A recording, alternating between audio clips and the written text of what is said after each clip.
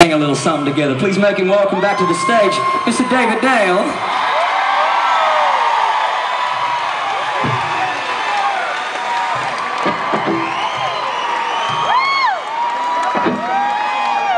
Are you ready, Dave?